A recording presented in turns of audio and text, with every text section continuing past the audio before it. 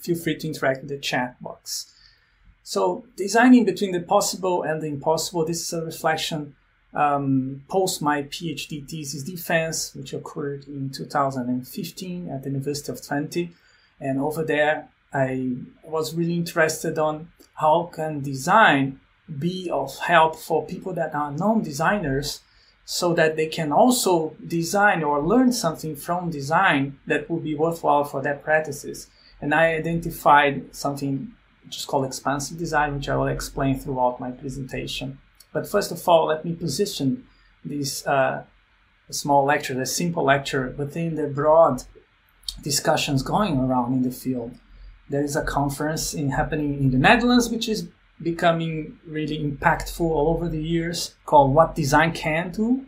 And the purpose of the conference is to stimulate people to think about design in broader terms, not just design for designers or design for designers' clients, not even design for design users, design users, but really design as an um, like a human attempt to overcome um, the social contradictions of our society and, and, and taking this broad perspective, what can designers do as part of these uh, bigger questions like climate change, like social inequality, political instability. So it's a very positive, exciting conference, but there are some criticisms that sometimes show and display the naivety of some of the design discourses.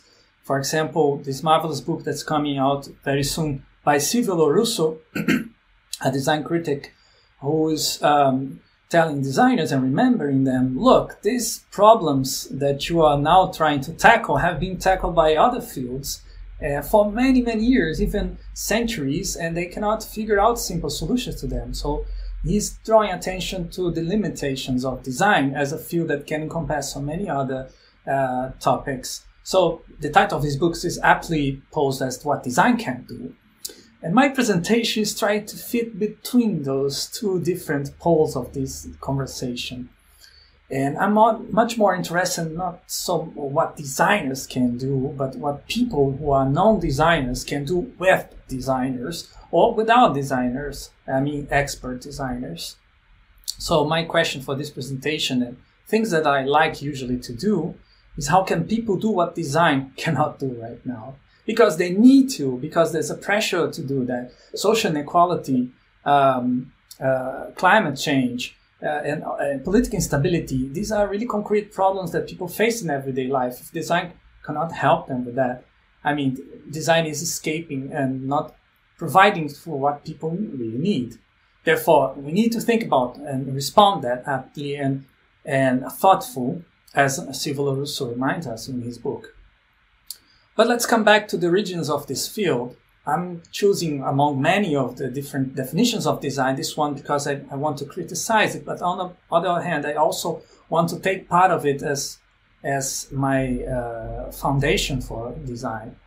Uh, Herbert Simon wrote this um, very famous book, uh, Science of the Artificial, also very controversial. A lot of criticism has been posed to this particular work, where he poses that everyone designs everyone who's devising costs of actions aimed at change excited situations into preferred ones. So this is not really um, something that only graphic or industrial designers do, but also engineers and even any kind of profession in other field that need to change situations according to some particular preferences. So design is the process, and he devises a lot of um, investigations based on games. That's why in this picture you see a lot of games in his table. He's using games to understand design. And me too. I'm also doing that.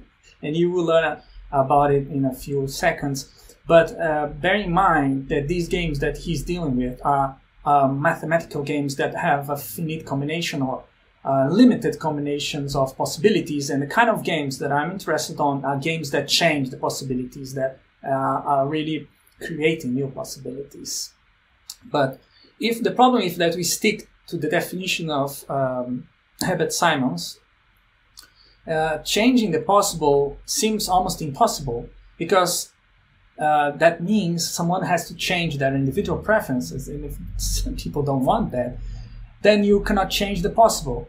And, and he really was trying to express a moment in history where that wasn't a problem. Really, there was a huge economic growth that enabled all these different preferences to be fulfilled.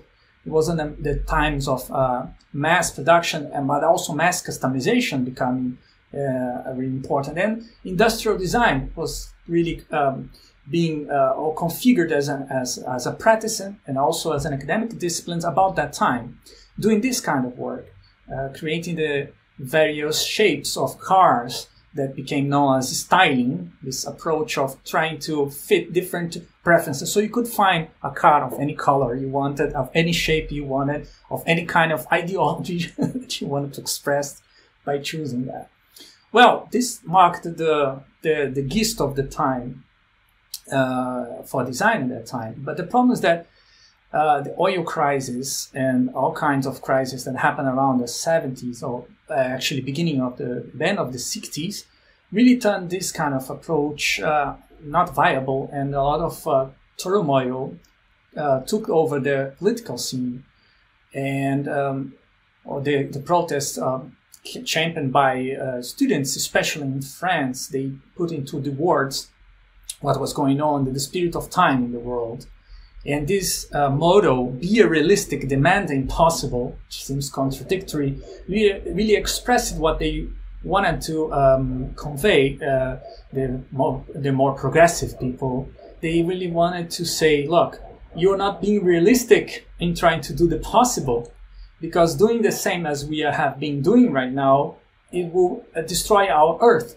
we cannot keep consuming the same as we consume. So can we uh, reduce consumption and still live a good life? This was all. These were one of the questions that the student um, movement of '68 raised, and the problem is that uh, of, although they had a, marvelous impact and very interesting uh, initiatives, like for example the Provo White, White Bike Plan in, in the Netherlands, where they just invited people to paint their bikes white, and after they do that, they would allow anyone to pick up that bike and use it as it was a shared bike with any bureaucracy whatsoever. That was one of the first bike sharing services ever, and it was really neat. And it had a very important impact in the process of uh, pedestrianization of the Netherlands. And, uh, reach, and what happened later on was much more structured than that, but this initial move was really important. But Oh, this was one of the few examples of something that this movement managed to um, give continuity. A lot of the demands and the claims of the 68 were not picked up and they could not find a way of keeping going on, especially uh, after crossing the 80s, the age where neoliberalism became um, a, a, major uh, political approach and economic approach. And the words of Margaret Thatcher uh, um, there is no alternative, also known as TINA. Um, there's no alternative to what? To this neoliberal approach where you have to cut uh, the state costs and, and, and rely on private entrepreneurship for providing for people. Well, uh, this was also something that other people would interpret as there's no alternative to capitalism, not just neoliberalism capitalism, but capitalism in general, because um, any kind of approach to develop uh, an alternative to that uh, was somehow uh, oh sorry are you still there?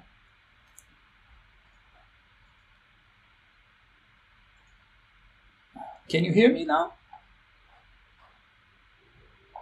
Can you hear me now? Okay i'm sorry. I'm gonna open this door just to make the connection better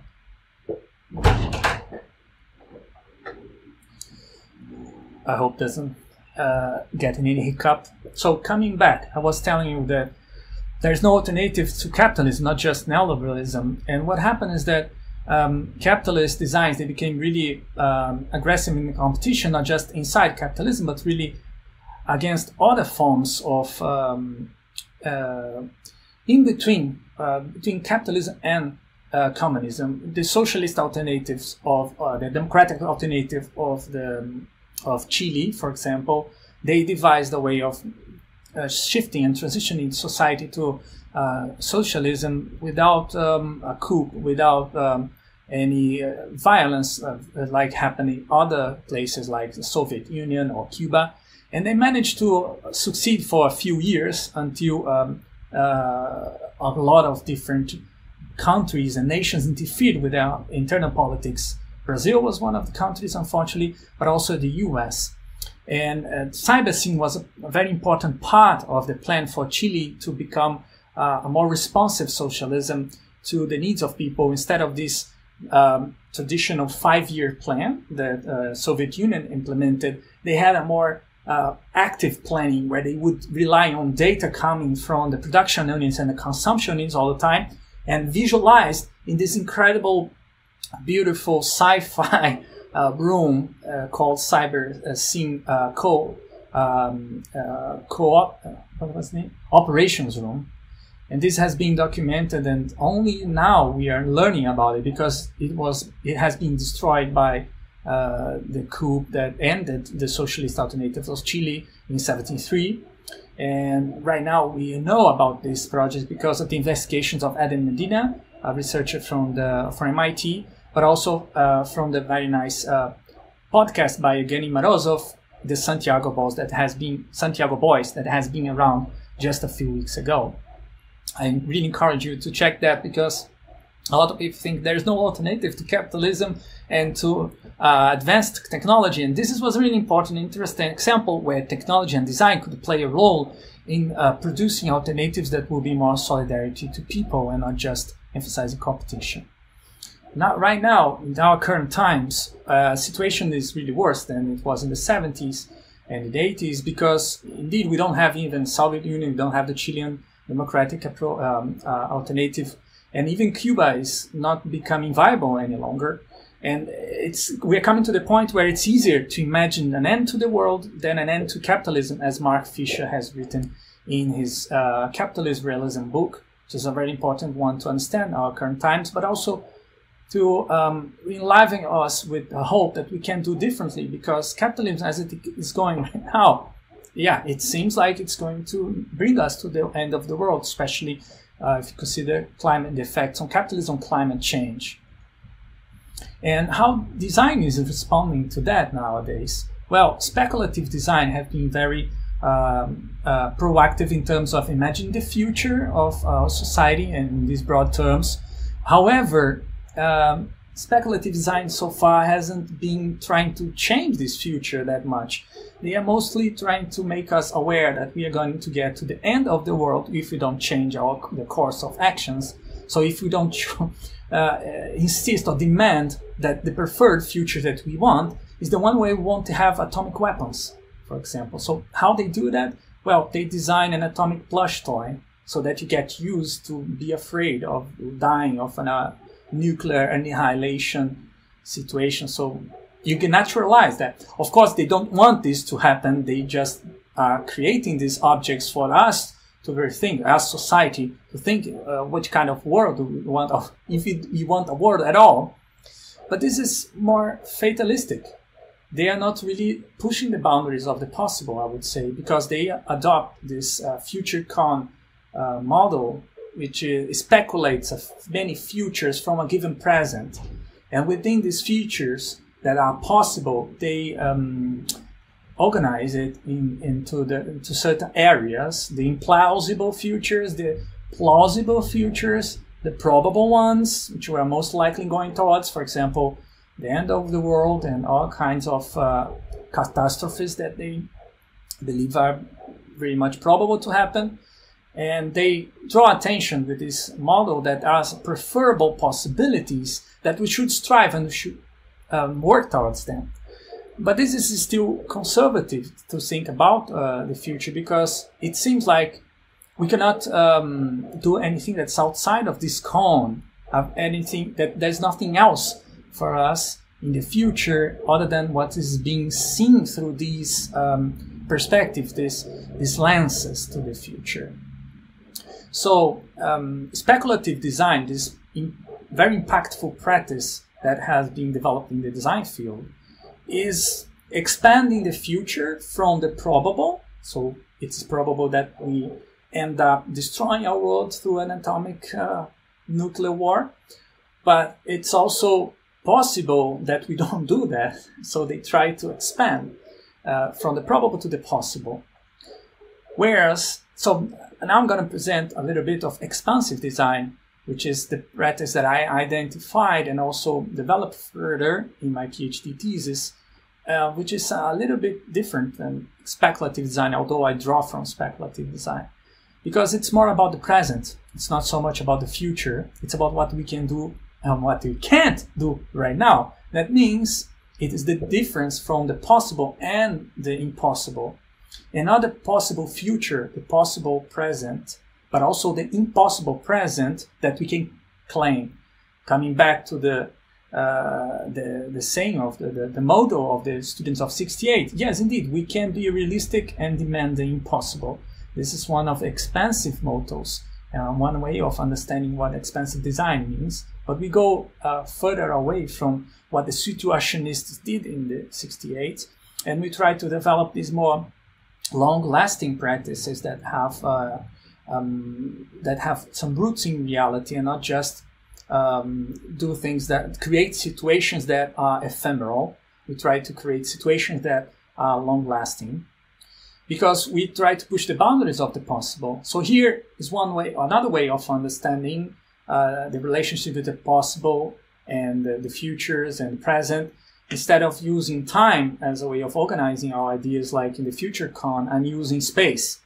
And let's think about the possible as a box of possibilities that, of action that we now consider to be possible. And whereas the impossible are the impossible things that can happen of impossible actions.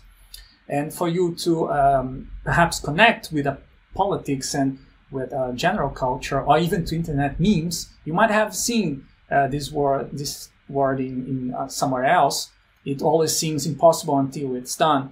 It's generally attributed to Nelson Mandela, the former president of uh, South Africa. However, I couldn't find an exact source that would make sure that he that said these words in those words although I think it's very much attributable because he has done something like that. Ending the apartheid in South Africa seemed impossible uh, while he was in jail, but then he kept going on and he managed to do that after he exited the jail and transformed his own country together with a lot of people. So, if I put him on an analytical understanding of what he's saying, it means that the possible can get old and a new possible can come in, and that's in between the impossible and the possible. And within this um, uh, sweet spot, which is expansive design harbors and develops this practice, this sometimes looks like thinking outside the box. Some people understand expansive design as the same as thinking outside the box. Uh, well, that's fine, fine and fair enough, because there's a lot of people telling and, and, and raising this discourse uh, here and there. But I would say it's the opposite. Expansive design is really about thinking inside the box because you want to change that box, you want to remake that box. How can you change the box if you don't think about it and if you don't understand the limitations? So, this kind of, um, think of the outside of the box is more similar to speculative design. And indeed, a lot of speculative design has been very irrelevant to change our present situation. They warn us about a future that is somehow far detached to our present situation. Or on the other hand, it's too fatalistic for us to do anything. It seems like, all right, we can just wait for the end of the world and do nothing. And that's the kind of um, mindset that we don't want to foster with expansive design. Expansive design do a similar thing. We go through the thinking about the impossible and even reaching up to the unthinkable, but we come back to the old possible. Uh, we come back to the to the pos- old possible, and we, we bring out some friction so that a new possible can can uh, emerge. But while we are coming back to the, the, the box to change the box, we realize that the box is not empty and remaking the box requires facing contradictions that bind the do's and don'ts that generates the same boundaries that created the box. So the, this box is made out of thought, but also made of, of spaces, um, of things that are concretely uh, preventing people from doing things. And that's what uh, expansive design really needs to uh, face. So it's not easy. It's not just about thinking outside of it. We really have to face those contradictions. I try to represent it graphically in this way. So you have contradictions binding, um, uh, gluing together the possible and the impossible, but in a certain way that it doesn't change. But on the other hand, there is some friction, there is some tension, there is some movement there, which is about to explode. And an expansive design is about releasing carefully this tension, which is called contradictions. And we do so by designing something called germ cells that can reproduce those same contradictions into a new configurations. I'm going to explain what germ cell is in a minute, but let's take a look at this graphic uh, explanation first. So these germ cells, they bring those contradictions that were binding the, new, the possible and the possible uh, back to the new possible so that the same contradiction can be seen a different way and that perhaps we can change that as a society, not just designers.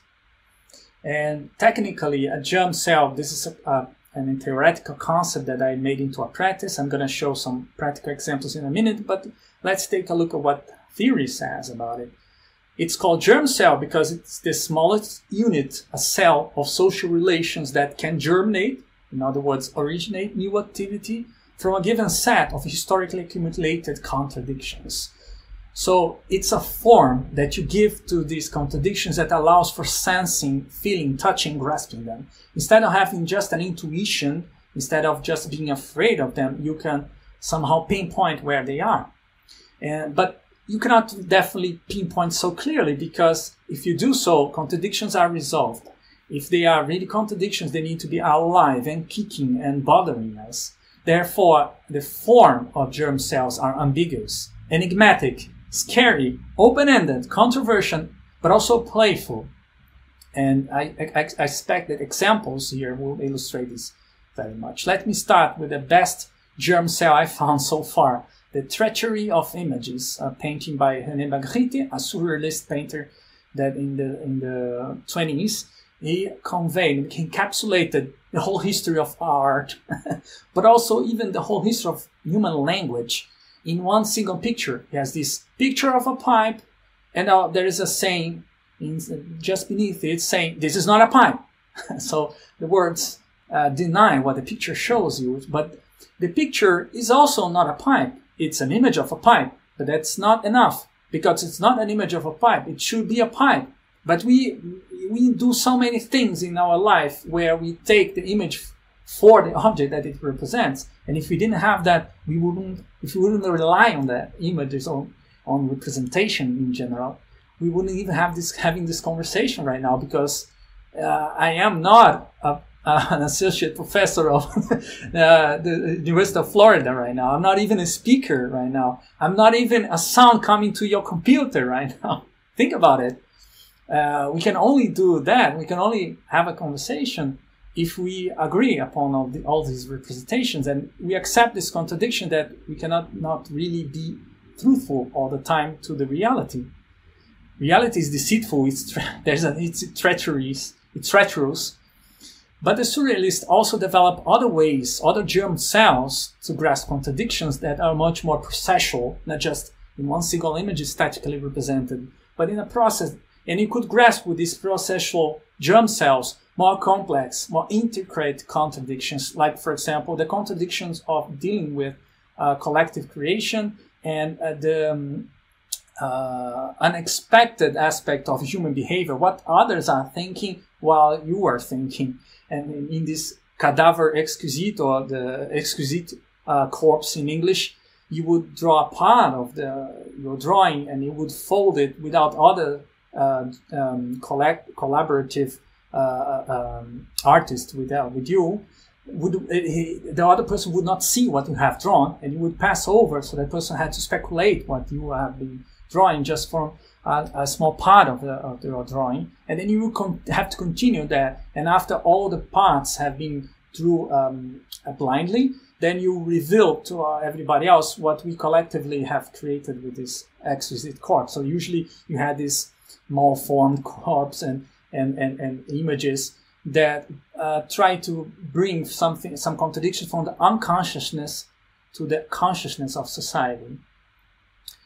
And inspired by uh, surrealism, uh, theater of the oppressed, and the work of Augusto Boal, the Brazilian dramaturg who um, created it, uh, he devised some dramatic games that similarly could um, somehow bring the uh, contradiction of oppression to our senses and let us use our bodies uh, to remove ourselves from um, postures that uh, allowed only for fixed meanings and enabled our bodies to um, move and to express things that we usually don't do it.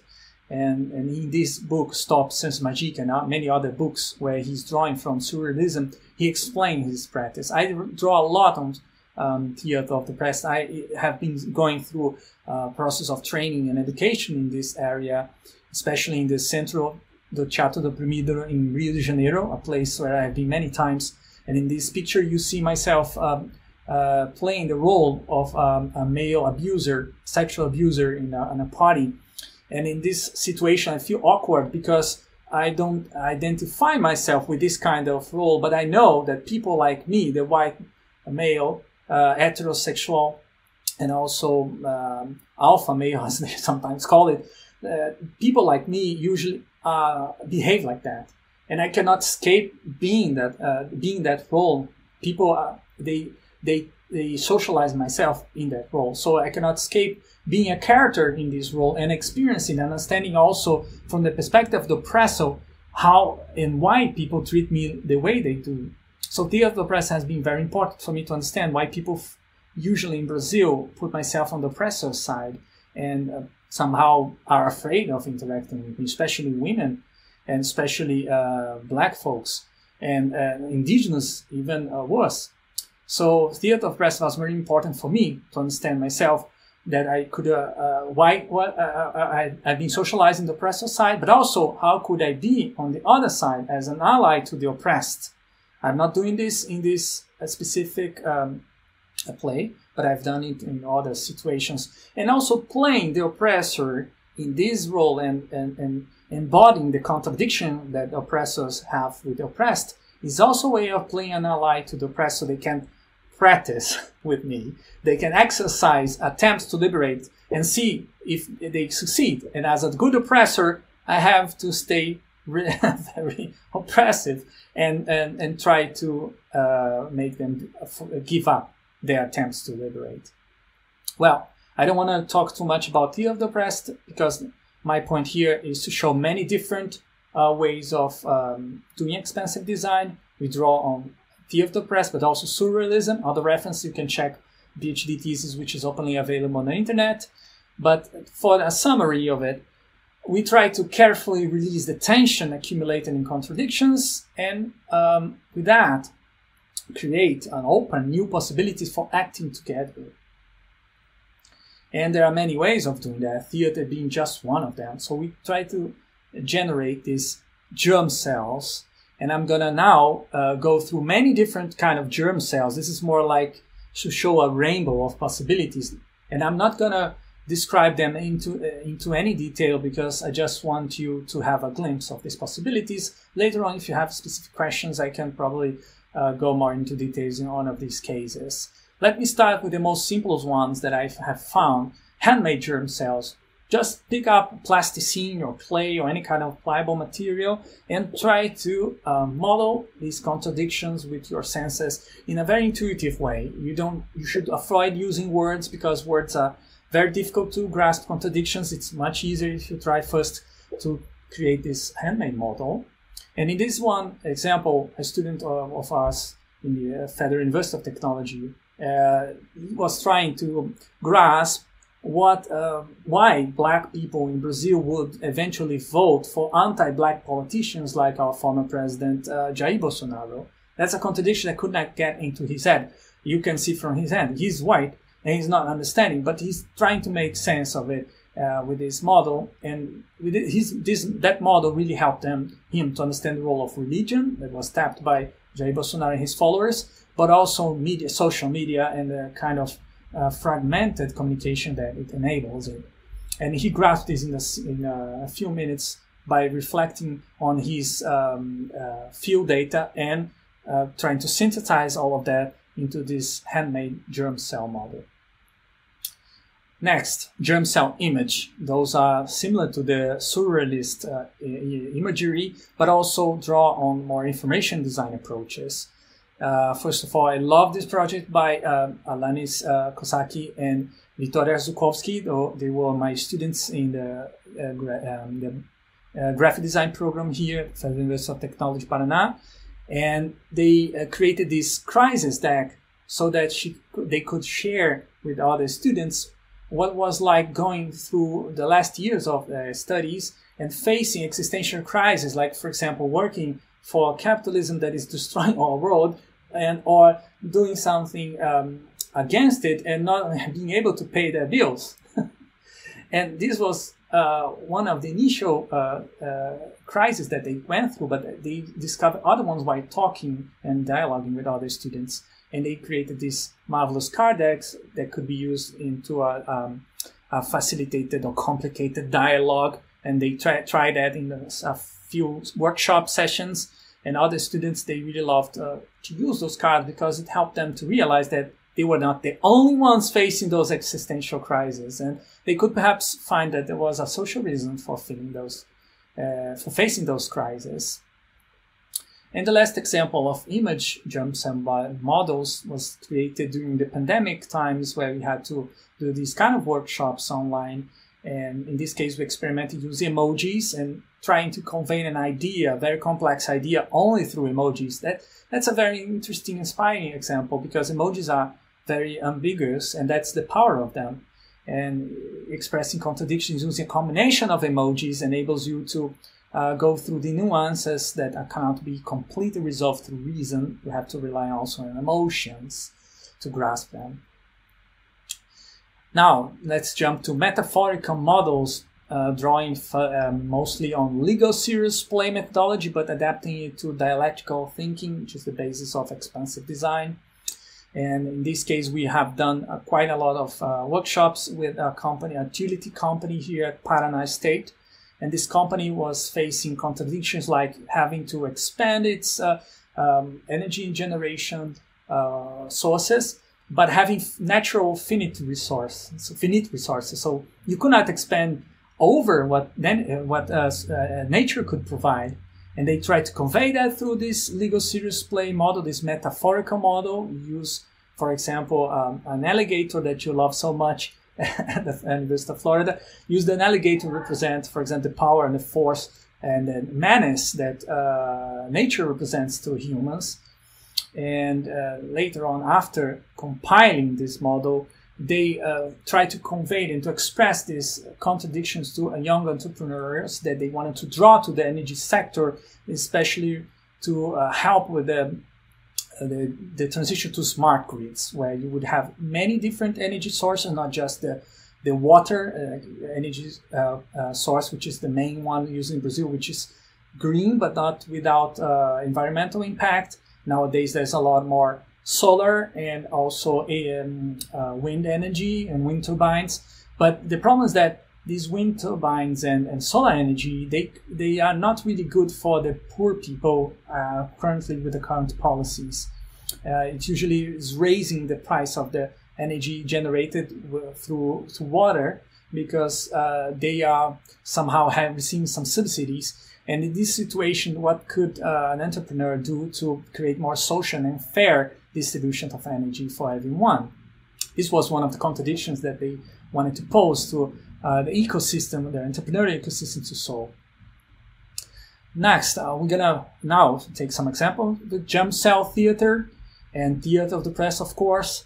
In this kind of adaptation of between theater of the oppressed and, and design, uh, body storming, our students are trying to uh, embody the contradictions of designing a garment that is to be the equivalent of the female bra. So they, they call it the scrotion in uh, reference to the Brazilian word for bra, which is soutien, or in, in, in French is uh, something like that. It's a French word, but it's a garment for the male scrotum, and they are playing out an, an interview where the garment itself is He's telling, look, I am the, the scrotian and I do this, I do that. My uh, purpose is to keep male uh, scrotum healthy and, and clean and it doesn't fall up with, with the, the, the, effects of gravity along the years so that man can be in a really good shape.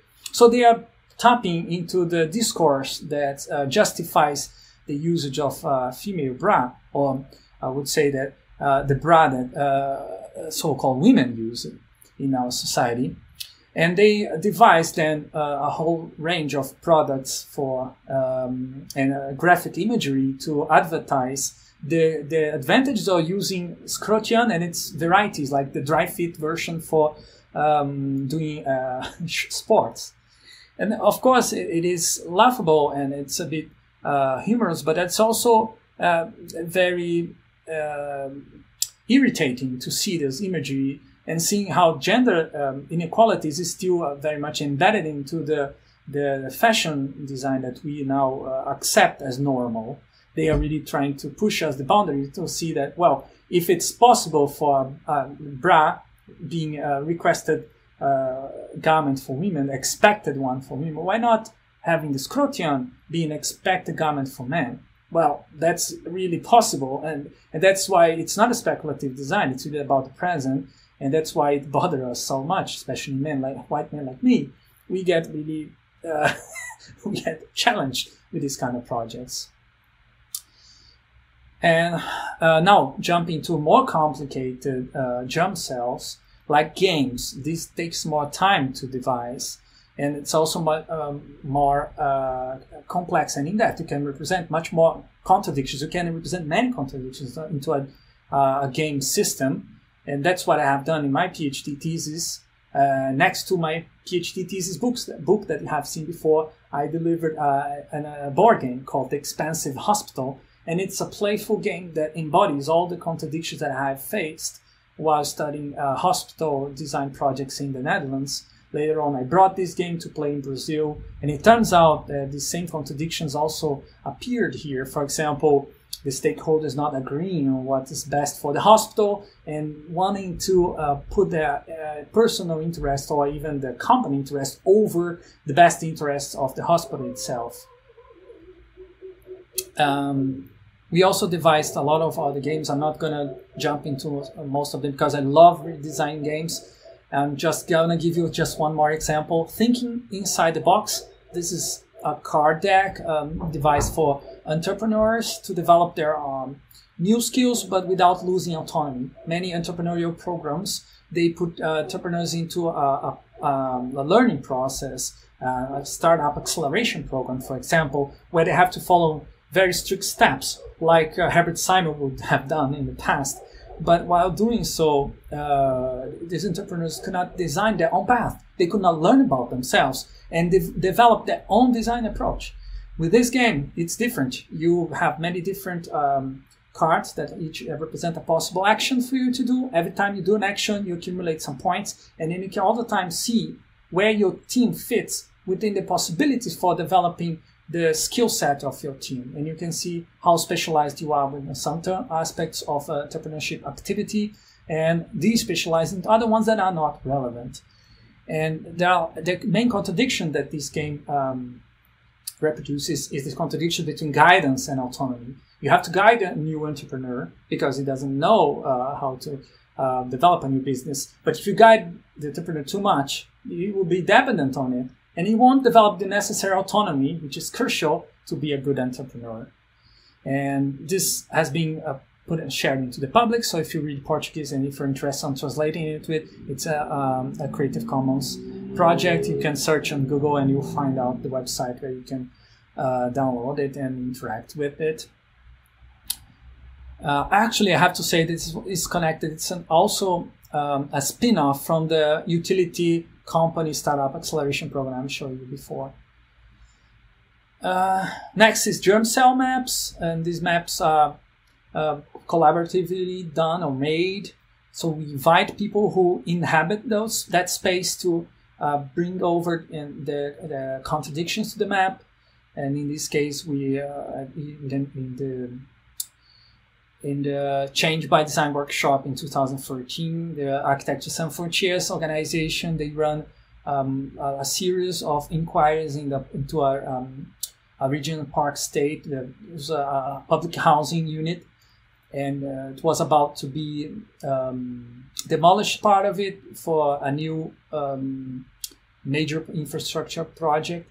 And the residents wanted to tell what they would lose with this uh, demolished and they uh, invited or they partnered with Architecture Sans Frontières uh, to summarize their demands and their needs. And we invited, as was a part of the team, we invited uh, the passers-by, the people who live there, to join and have a cup of tea and chat about their experiences and use the game to um, register those experiences. We showed some some icons, and they could choose those icons and play out some stories within the map of the, the state. And later on, uh, these will be compiled to generate uh, overall uh, views of all the main issues that they were facing there and the, the things that they could trade for the demolishment. So they could demand other improvements in the state in, uh, in, uh, in exchange for accepting or uh, yeah joining the accepting the demolition demolition and also moving to another place. And the, the, another example, which is more recent, in 2023, no, 2022, last year, we joined uh, Uniperifa collective into organizing some community action in the outskirts of Curitiba. And uh, the people who live in the outskirts of Curitiba was part of Uniperifa. They came to the university. We played this very nice mapping game where we tried to uh, map the most tense or the tensest contradiction in the region in the uh, within the state uh, that where they lived. And in this situation they found out the the community uh, center harbor most of this contradiction because it wasn't being maintained but a lot of community members in the past they use it. So it's it was a symbol that community didn't work doing any community work. So they first decided to renovate the center to start doing uh, other and further community initiatives. If they didn't have done anything with the community center, it, it would be a hard time for the community itself to get engaged with the initiatives. So our students joined and do, did something that graphic designers usually are not trained to do, like painting and um, and fixing some furniture, and and they did this uh, together with the community, and that opened up the possibility for doing other things that are more related to graphic design later on. And the last example is germ cell data visualization. That's the most completely requires you to collect data for and usually generating data about contradictions is difficult. Usually you find contradictions uh, in the interpretation of the data while you devise the, the, the graphic generation models, like when you decide what does color means, what does uh, any, any kind of uh, symbol use in the picture means in terms of data. How do you generate these images, in, other words?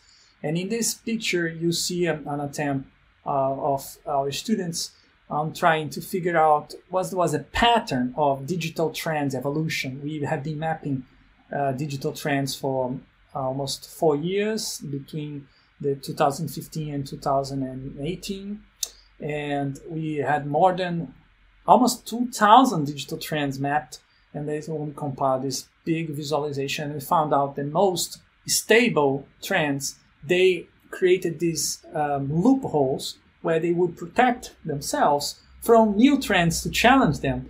And we found out that ultimately digital trends they produce uh, a very conservative pattern of doing the same all over because new trends that would challenge existing trends they would not be able to connect to the to the old trends. It would be pushed out, and it would die soon, as a, uh, as the, so-called um, uh, the law, the, the the valley of disillusionment, where you see, for example, a new trend um, being uh, uh being forgotten. Uh, this is another project where we also mapped a lot of different initiatives during the pandemic times. Um, it's really a huge map of uh, all the initiatives in Brazil that we have gotten to know through the news media. and we try to find the contradictions between the problems and solutions that have been posed in the public. And this map has been shared with the city council member of Curitiba, Maria Leticia. She's still a council member nowadays. And she used uh, this huge map to separate a part of it and, and, and focus on the specific contradictions that matter to uh, the citizens of Curitiba and especially to people who voted on her. So it helped her to understand also the limitations of what she could do as a city council member and what uh, other public institutions could do. So to summarize uh, my uh, presentation, changing the possible seems impossible when the possible is reduced to individual preference. Uh, people need to be respected to their preferences. However, changing the possible becomes possible when the possible is expanded to democratic liberation, uh, eventually being using germ cells as I've been showing here. There may be other ways, even more diverse than what I have been showing here, where the possible can democratically be deliberated. Well, speaking of germ cells, they definitely do not solve or resolve contradictions.